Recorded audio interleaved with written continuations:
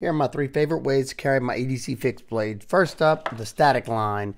This is the cheapest option. You can carry it inside the waistband by looping it to a belt loop or a belt in particular. And it's also one of the fastest methods to install, like I have on this Artisan Sea Snake.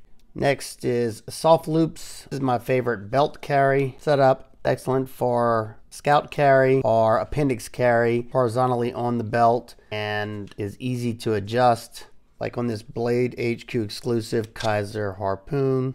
Third one is the Ulti Clip. This is the most secure of the bunch. Works excellent for clipping inside the waistband or to a pocket.